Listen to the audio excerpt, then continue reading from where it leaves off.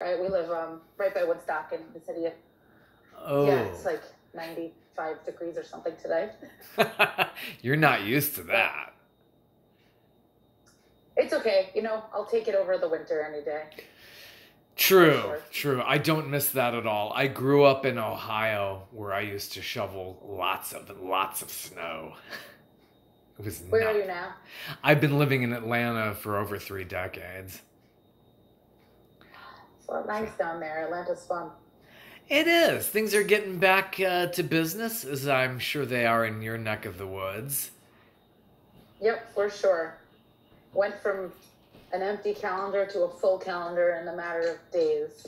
Wow. Yeah. So you got a full uh, schedule, I'm sure. It's it's probably been really not so great uh, the last uh, 15 or so months. We made the best of it, really. Yeah. Uh, surprisingly, it was not the worst 15 months of my life. And that's the thing, you just have time to recuperate and to really recharge the batteries. I'm sure the creative ones as well. 100%. Yes. I mean, I think sometimes you don't even realize how tired and burnt out you are until you have a chance to just slow down and reflect and be calm and still for a moment. That's so true. So your third album is out. Uh, that must be incredibly exciting and a good feeling of accomplishment. Thank you. Yeah, I feel like I finally birthed something that I've been carrying around for a few years. So it took a few years. I mean, from from start to finish, how long from writing until the final release? I mean, um, we recorded it in January of 2020. So, uh, you know, with the intent of releasing it in 2020. Um, so, I mean, even just from recording to now, it's been almost a year and a half. And, you know, we were writing for about two years before that. So it's been like, Wow. you know, three or four years in the making at this point. Wow, that is a while. That, that really is. And and to really put it on hold like that, just like they did like with the James Bond movie. Just like, when's this thing coming out? It's like, but it's it's worth the wait. It it totally is. Yes. Absolutely. I'm happy now we can actually play shows and have it in person to give people. Yeah, so this is an We 11 release party on Saturday. Oh, cool. What'd you say? Where, where's your uh, release party at? We had it in, in Woodstock, Oh, and thanks. uh, it was great, great fun, and everybody was really excited to be out, and it just was kind of a, a, a magical evening. Yeah, great collection of songs carrying on the rockabilly spirit. It's just got so much energy. Thank you. Absolutely. So it starts with the song "Let's Go." I mean, what was the, what was the origin of that? Well, without uh, throwing anybody specific under the bus, this song, uh, unlike my normal writing style, which is very positive and you know usually has like an optimistic spin, uh, this one was kind of about a person who was really supposed to help my life and help my career, and um, I kind of put all my eggs in in this basket with with one basket with this person and um, they really let, like kind of let me down and ended up making things harder instead of easier. Uh, and this, and you know, I felt just like so frustrated and so stifled.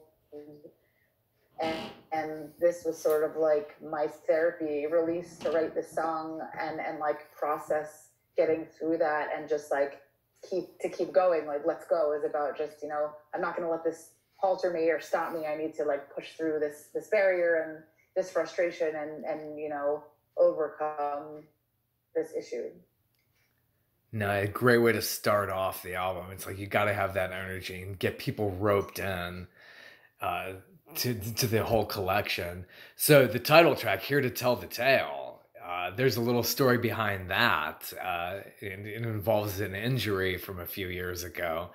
Uh, what, what's that story behind your injury? Well to make a long story short i got drunk and fell down the stairs while on tour in california. But um yeah i mean we were on the road and that really happened. It was like a very bad break. Um like I shattered my ankle and the lower part of my leg, and we had a you know a whole a bunch more West Coast shows, and then we were supposed to do a number of shows to uh, head back from the West Coast to the East Coast. So, needless to say, we had to cancel the rest of the tour, and I had to fly home and get emergency surgery. And um, I mean, it's been two years. I'm still recuperating, um, but we were out playing gigs again. I think two or three weeks after my surgery, I would just bring this chair that looked like a high a zebra striped high heel and I would bring it onto stage and I'd hobble on the stage and I would sit down and we would we brought that chair all over the northeast and just uh, you know played as much as we could despite the uh, the setback. That's a real survivor story. So how's it going now with uh, you know physical therapy and things like that? yeah i'm i'm not doing that anymore like i did it for a while afterwards it just um i'll never be the same again i mean i have 17 screws or maybe maybe 20 like 20 screws and three metal plates in my leg actually i have i think i have the x-rays cool right, right in front of i'm into orthopedics it's they're pretty crazy looking um so i'm gonna have just like a ton of, of hardware in my leg forever um, but you know, as I said, it's been two years, and I feel like yeah. I'm still seeing, I'm still recuperating. Uh-huh. Um, you know, every every six months, I feel like, oh wait, like it's still getting a little bit better. Um, so you know, there's there's hope, but I'm able to to hike and walk dogs and and do. Ooh. Wow. Yeah. If you see this uh, X-ray, you could see like all of this hardware and the ankle. So it's just obviously just that one. That you would. How did you? How did you? You just one leg. She just fell on that leg and just like bam. I just tumbled. It, it was kind of like a curvy staircase, and I just you know from the top. I, I remember I was excited about finding peanut butter cups in the cabinet, and I was I had chocolate in my hand, and I was running down the stairs to give them to my husband, who's my bass player, uh-huh. and uh, I think when they carried me out to the car, I still had the butter, the, the chocolate peanut butter cup in my hand. hey, you know, you got a full album yeah. out of this, right? yeah, I mean that that's just one of the things like that that Here to Tell the Tale is about. But I mean, in general, it's just about not living, you know, behind a computer or behind a cell phone, and just about really getting out and having your own firsthand experiences, which are not all going to be good, but like, hey, the bad experiences help build character and you know make for eh, eh, being an interesting person. So it's you know about having experiences so that you have your own unique tale to tell um, as opposed to you know living vicariously through other people or through movies or TV or whatever. Yeah, oh, how true that is. So you mentioned your husband, bassist Matt. How is he doing? It's so he must be assisting a lot too. I mean, like to to get through everything, especially with your injury. I mean, I'm sure he was a huge help. Oh yeah, for sure. He he was great. He did a lot of cooking for me, a lot of walking the dogs back then. Um, but you know, we're we're used to being together all the time. We've we met touring together in our old separate bands, and we've just always been on the road together, spent a lot of time together, and played music um, as a team. We also play as a duo called the Gold Hope Duo. So when we're not doing full band stuff, we're touring or recording, we're playing as a duo. So how did that all come together when uh, you were in your separate bands? You were in one, he's in the other, uh, and were you just like were you uh, touring with each other, and that's how you got to know each other, and then you just combined uh, when your bands were yeah. folding? We met um, we met when our old bands got put on bills together. Just and yeah. Matt was actually living down in Brooklyn at the time, and I was living where we live now. But he's originally from here, so he'd come upstate with his band. Um, he had a psychobilly band called the Arkhams, and they'd come upstate. And um, I was playing in two bands at the time. Uh, a more traditional rockabilly band called Lara Hope and the Champtones, and also I was playing in like a punk rock power trio called Tiger Piss. Um, and both of those bands would end up getting put on bills with Matt's band, the Arkham. So we met that way. And then we ended up going on a tour together called the Coney Island Rock and Roll Roadshow. That was his band, my band. There was a sideshow performer and a and um, a burlesque dancer and an MC. And so we spent a few weeks on the road together um, with our, our separate bands and kind of really got to know each other that way. And then, you know, one thing led to another. We started hanging out more and then started playing music together.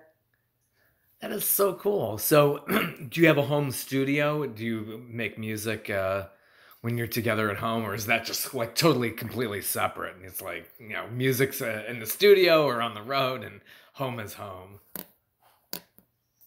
Well, we just um, moved into our house um, right as the pandemic hit. We, we closed on our home on March 11th of 2020. So literally as oh, the world was closing gosh. down around us. Um, so we had a lot of time to really settle in here. I mean, we didn't leave the house for months, basically. The first few months we, we got this house. So this is the first time we've had a home studio since last year. Um, and we, we've done some recording. We actually um, wrote and recorded a pandemic EP as a duo called Songs in the Key of Quarantine that we released last summer. Oh, cool. So you're always creating. I mean, that, you seem to find the creative spirit when you're in lockdown. So that that's uh, really excellent. I'm sure. Well, I had a lot of time then. Yeah, totally. So this is your third album. Uh, here to tell the tale. Uh, you have some other really interesting tracks on there too that are a little bit more mellow, like "It's a Crime." What's the story behind "It's a Crime" and how did how did that come to fruition? I mean, you know, as as I think I mentioned, like there is a little bit of, of a running theme throughout the album. Um, sort of like I talked about here to tell the tale about you know getting out and having your own tale to tell, and it's a crime definitely ties in with that. Um, but on the uh, coming from the the angle of if you don't give yourself the opportunity to experience all of these things, you know, quote, it's a crime. You're you're robbing yourself of of living your life. Um, so yeah, that's really it wasn't necessarily about a specific person, just as a generalization. Yeah, kind of mellows on around that point, and you have another great track with uh, the voicemails from your mother.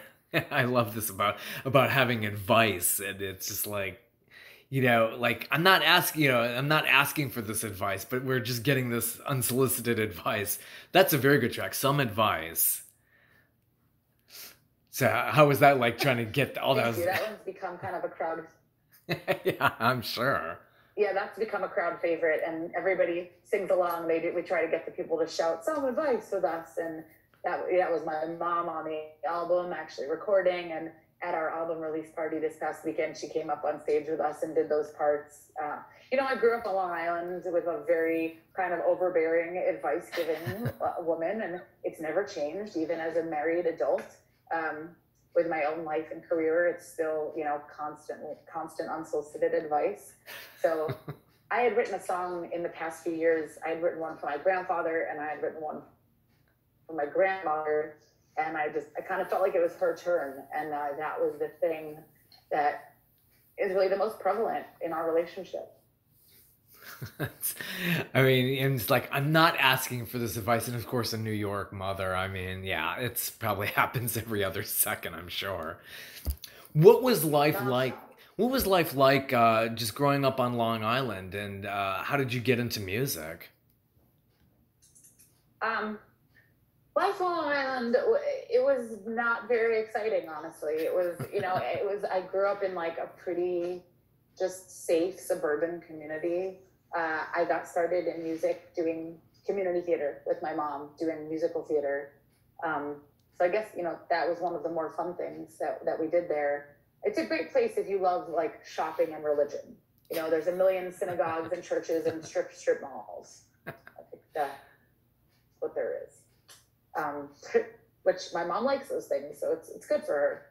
But yeah, community theater, singing there, you know, singing in school and choir, and my mom she used to play guitar, so she got me started playing guitar at around age nine.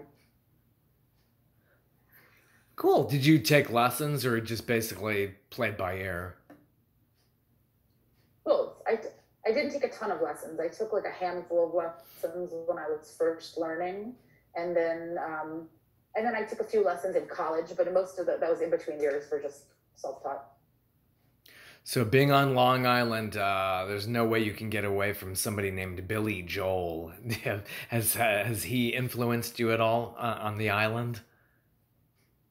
I mean, I'm a, I'm a Billy Joel fan. I respect yeah. Billy Joel. I'm not like a huge fanatic or anything, and you know, like surprisingly, he, he wasn't, you know, brought up all that much. You know, you sometimes hear like, oh, there's a lot of famous people from Long Island, you know, Billy Joel. And more important to my life at this point is Brian Setzer is from Massapequa, um, which is like 15 minutes away from where I grew up. So there's like that kind of rockabilly ties.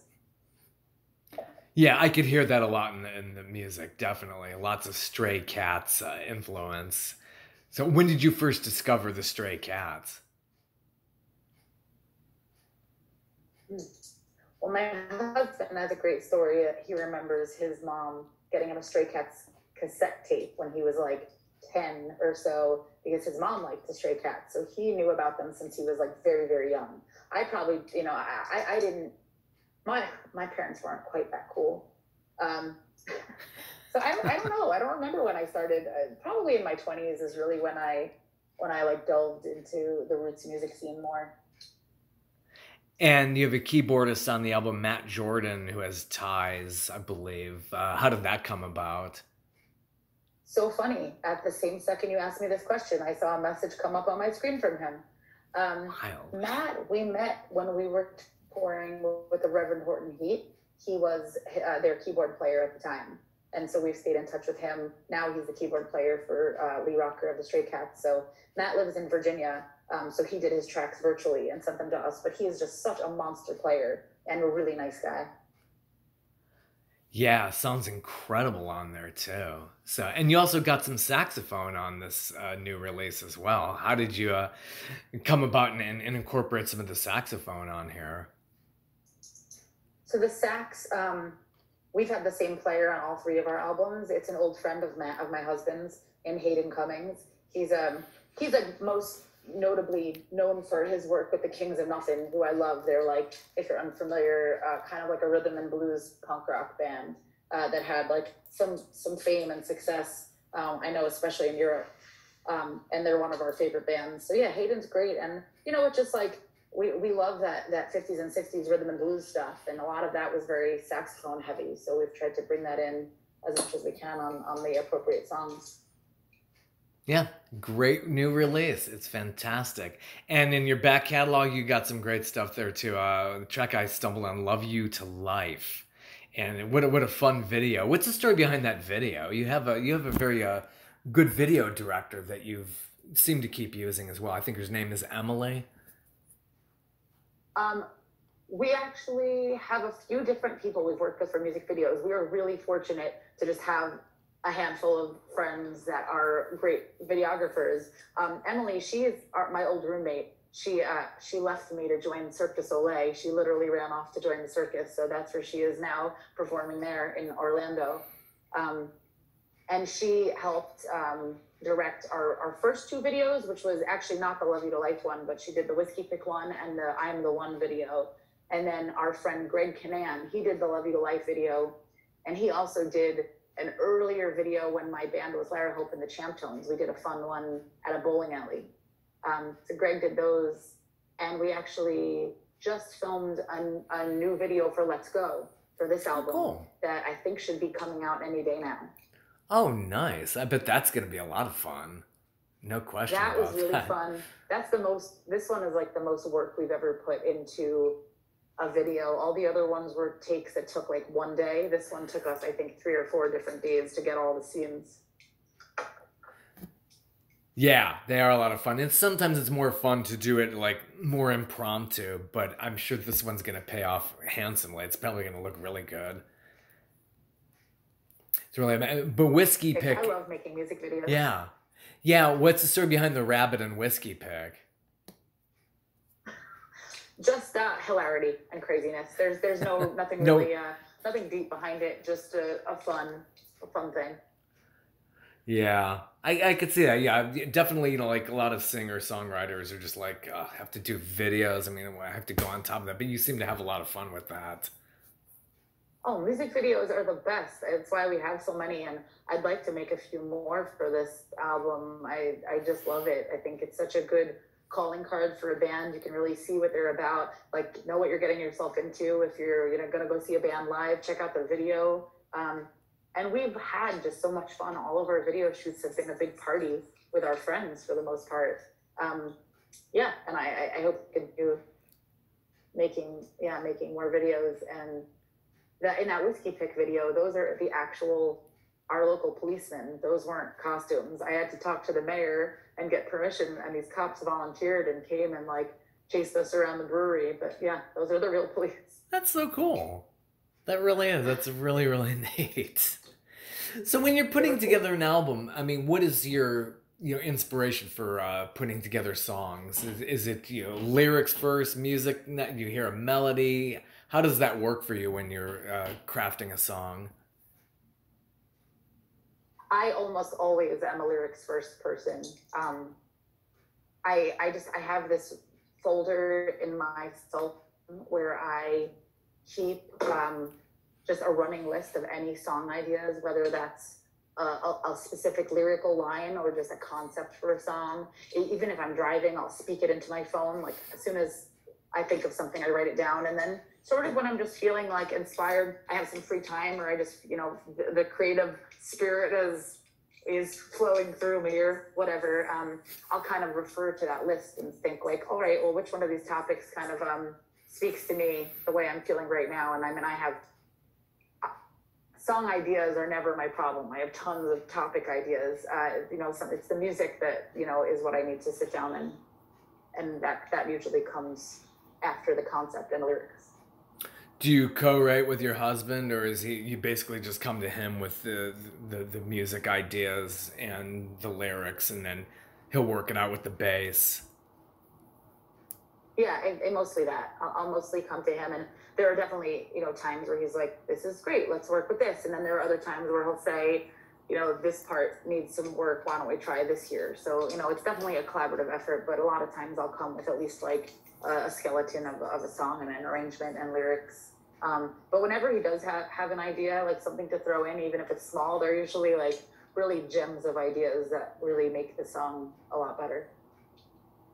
It's a great collaboration. That's so. It's great you found somebody in the music industry. You you you get each other. You know, it's, it's like you know, like oh, I'm always on the road, and then somebody's always at home saying, "Hey, where are you?" It's it's really nice that you are together uh, do you do things that you need to do to kind of like have your own time, your me time? I mean, we should more. You know, this this year was different because there was no music industry, so we really just kind of hung out.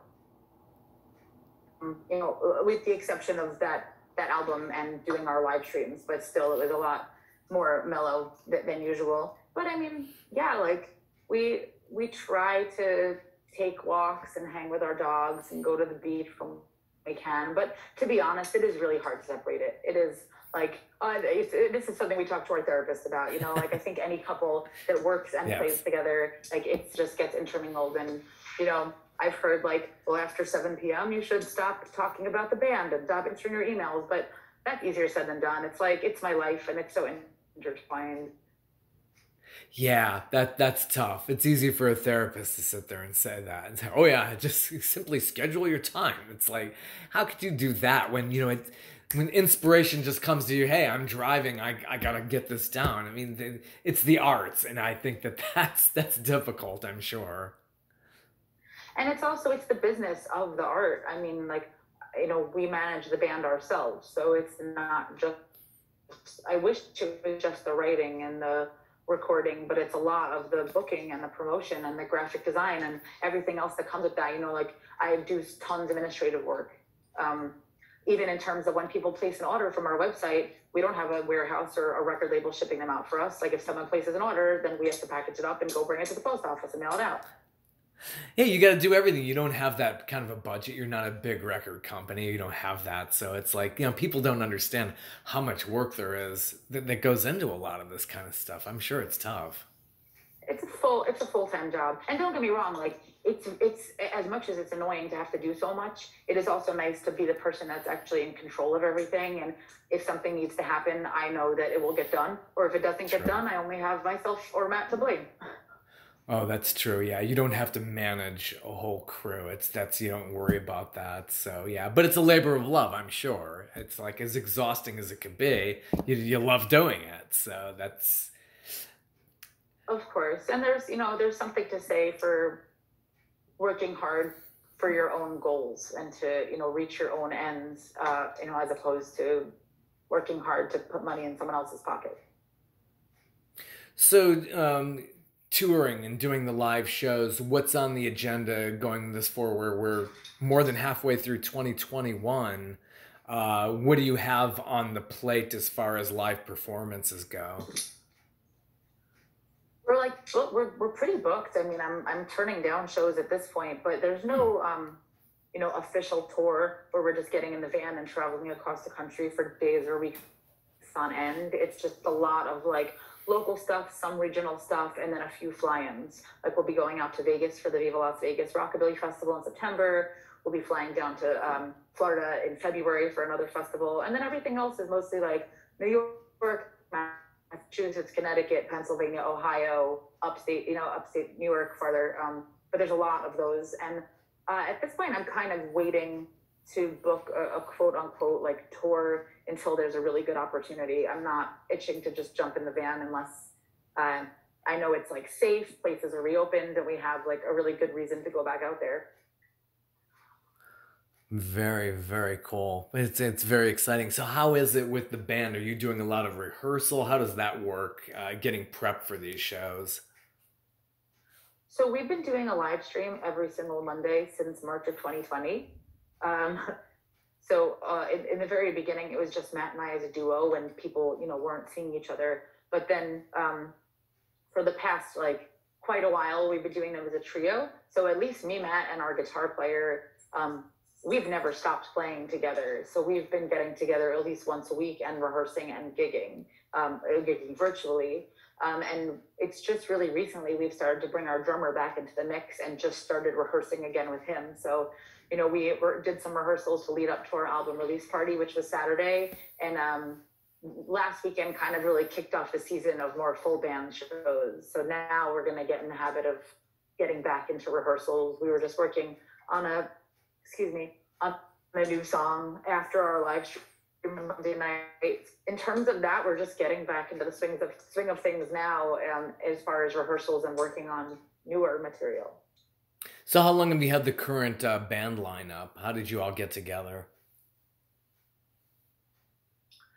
Um, so, so Matt and I have been doing this from the beginning of the Ark-Tones for you know for nine years.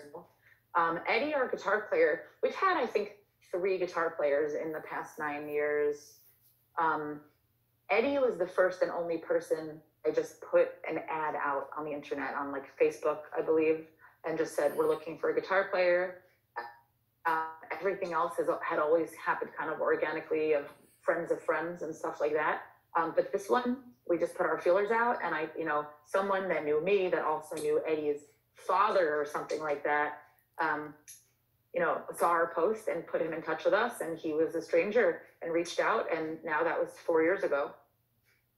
So um, he came to that rehearsal, and he could play our songs note for note perfectly. Mm. Um, and Eddie, like at the time, was working in a music store, giving guitar lessons. Like he's just a phenomenal guitar player and a quick learner. So that's how Eddie joined. And then um, a few years ago, we were looking for another drummer. Um, our, our, last drummer just it wasn't working out at the time. And Jeremy is someone that I've known for a really long time, probably for ten or fifteen years. We've just been acquaintances. Um, always really happy when we bumped into each other at the bar at a show. Jeremy's always played in a lot of bands. And so when I was just kind of racking my brain, who are drummers that are good that might be available, I reached out to him and he was, um, you know, now that I think about it, I think I had actually reached out to him a few years prior and he, you know, his circumstances at the time just didn't allow him to go on tour. And I, I I, on a whim, tried him again. And at that point, he had a different job. He was in a different relationship. And he was like, let's do it. And he came on right before we went on the national tour with Brian Setzer. And um, that was that was three years ago. Oh, Brian Setzer, just an amazing talent. I'll never forget when uh, they first broke out on the scene in the 80s. It's like people doing period pieces in the 80s, and very few were able to really carry that up, but they really stood out because it was really, really tough back then with all the, you know, and then later on the big hair bands in the latter half of the decade. But they, you know, that, that whole rockabilly thing just really, it's amazing how that worked. I'm sure that, that you probably had to feel that way back in those days as well. Yeah, Brian, you know, he he I don't want to say he got lucky because he really deserves all of his success, but you know, he did it at the right time. I know he had a hard time in the States in the beginning breaking out, and he really had to go to the UK for the Stray Cats to really get the fame, and then it happened in the United States afterwards. But um, you know, I guess he he kind of kicked off that rockabilly revival, which um, I'd like to think is still alive and well. Thank you. It's got beautiful hair. How did he pull that off? Yeah, I mean, incredible, incredible talent. How did Matt uh, get that nickname? He's also known as the Knife. Oh yeah, it's just kind of a play on words from Mack the Knife. Mac. Oh, okay. Mac the Knife. yeah. He also is a barber. Ah does some straight straight razor shaves. Not he, he he's not doing that right now, but he is licensed. And when we first met, he was barbering full time in New York City. Great to fall back on, I'm sure. yeah, for sure. That's awesome. Well, that's amazing. So growing up, uh, you seem to like some punk too in the Hudson Valley. Was that uh, kind of a thing that was kind of going on as you were growing up?